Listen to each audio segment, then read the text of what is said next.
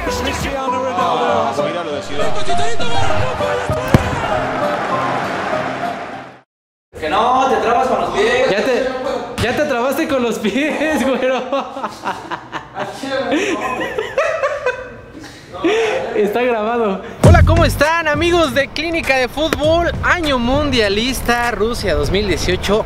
¿Qué más podemos pedir? Deja tú la salud, el amor, el dinero, na, na, na, na.